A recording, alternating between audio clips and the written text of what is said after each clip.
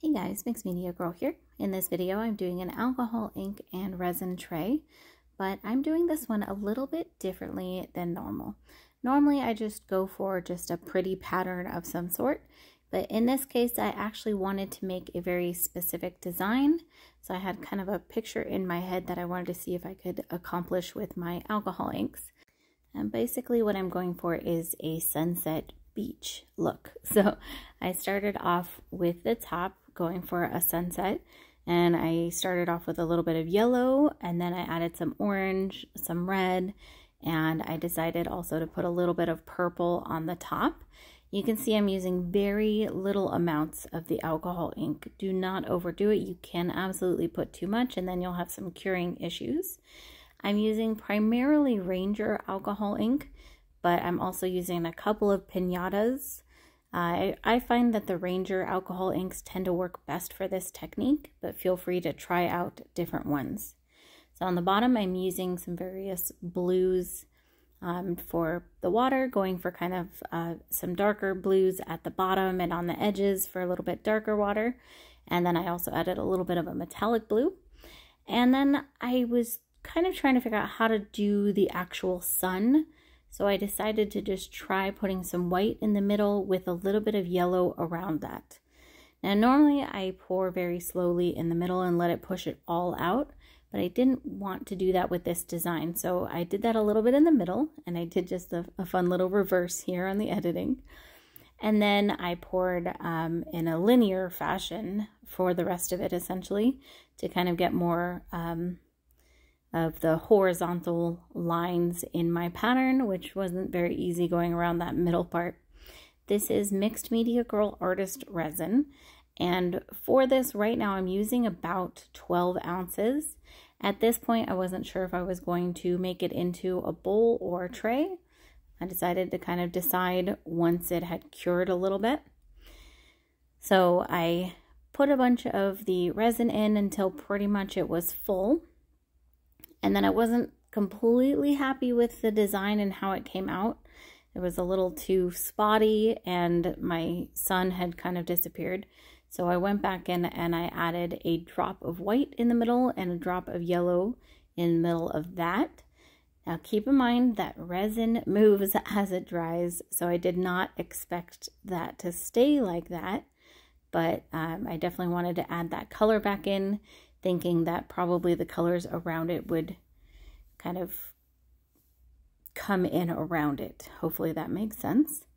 I then took a stick and I used that to modify the rest of my design a little bit, get more of that linear look that I was looking for, a little less spotty.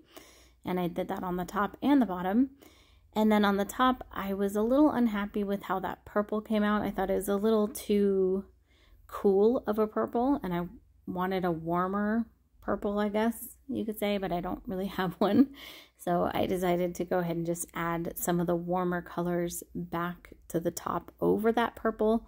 So I would still get that purple in there, but a little little more of the warm tones. I added a little bit of uh, pink and a little bit of yellow and then went back in with the stick and just moved that around. Oh, also a little bit of red. and so that just gave me a little bit warmer colors up there. I was pretty happy with how the water came out, but I did want to add some like lighting from the sun. So I added just a little bit of white in there as well and then moved it back and forth with the stick to give some light on the water, some reflection there. And I thought that came out pretty nice. I didn't want to overdo this and have the white kind of take over. Um, and also at this point, I had already kind of planned to embellish it a little bit further once this had cured.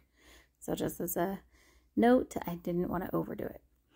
Um, I used 91% isopropyl alcohol to get rid of the air bubbles. You could use a heat gun, but that will kind of move your pattern around. So the alcohol works best for me. Um, don't use a torch on your silicone molds because it can absolutely ruin them.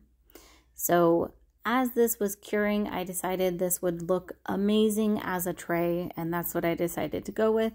So I let that uh, fully cure, and then I went in and embellished it with just some acrylic paint. Uh, here I made a light blue. Basically, I wanted to kind of sharpen up that horizon line. I felt like it was just a little too blended. So I just used some light blue to sharpen up that line. And then I thought, let's go ahead and add some palm trees as well. And for that, I just used black. So it's just a silhouette of the palm trees. And I created the um, trunks first, which is just a line. And here you can see a little bit better. And then I have um, some of the palm fronds kind of coming down. And these are actually surprisingly easy. You just create a kind of a curved line and then you feather that out. And just kind of the sloppier, the better. Palm trees are not really neat and organized um, or anything like that. So just a simple curved thin line for the trunk, then some curved lines down from the top, and then you're to just feather those out. Uh, you actually just need to feather the bottoms usually, but sometimes I add a little bit of feathering to the top if I feel like it needs a little bit more. I let that paint fully dry. It's acrylic paint, so it dries pretty fast. And then I put a clear coat of resin over that. And in this clear coat of resin, I have a little bit of diamond dust because I wanted to add some sparkle. And honestly, I did not measure how much resin I put into this coat, but it's probably about another 10 to 12 ounces.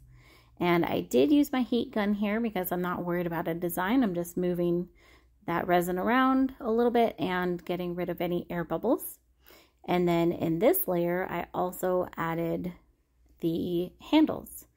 Now the handles, I like to just stick directly into the resin um, and let it cure that way. This resin is very, very strong unless you're carrying around bricks or maybe gold bars, um, which I typically am not, you should not have an issue with the weight. But if you like it better or you feel more comfortable, absolutely feel free to um, screw in those handles from the bottom. That's totally up to you.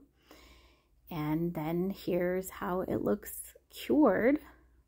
I let that cure for a good, you know, actually probably longer than 24 hours, but about 24 hours, and then demolded it. And I think that this just looks awesome. Um, I love the fact that it's slightly transparent, but it's also really bright and it has a lot of color. And it just makes you kind of think of um, sitting on the beach and, you know, having a nice vacation or something. And it's really cute. So thank you so much, guys, for watching. Let me know what you think of this project. I hope you liked it. And I'll see you all next time.